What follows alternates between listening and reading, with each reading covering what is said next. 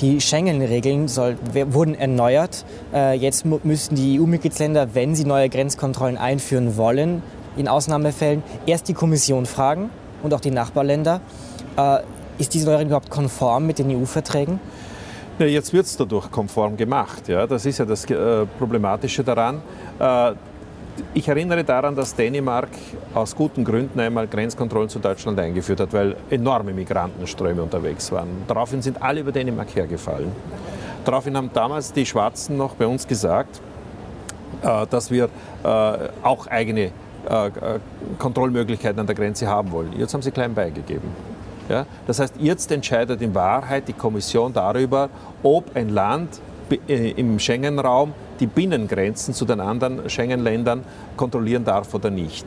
Das halte ich wirklich für problematisch. Das ist ein ganz entscheidender Baustein der Aufgabe eigener Souveränität und wiederum hin zu einem sozusagen zu einem Einheitseuropa, ja, wo die äh, Kommission letztlich über, auch über die Grenzkontrollen äh, eines Mitgliedslandes entscheidet.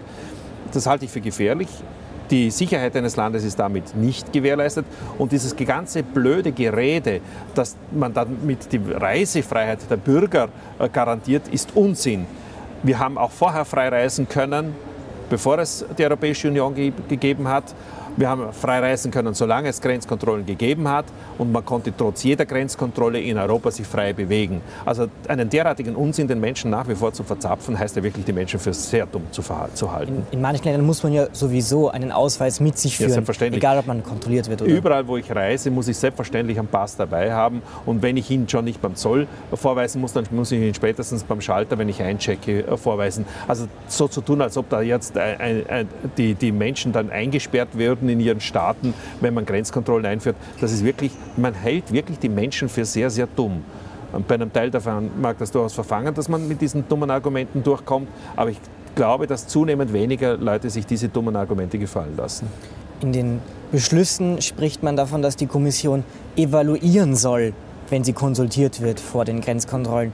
Ist das jetzt nur eine Evaluierung oder ist die Kommission tatsächlich bemächtigt zu entscheiden? Nein, nein, die sind äh, ermächtigt zu entscheiden. Das heißt also, die evaluieren zunächst einmal, ob überhaupt ein entsprechendes Gefährdungspotenzial für die öffentliche Sicherheit des betreffenden Landes vorliegt. Und dann entscheidet der Rat darüber, ob das zulässig ist oder nicht. Ja?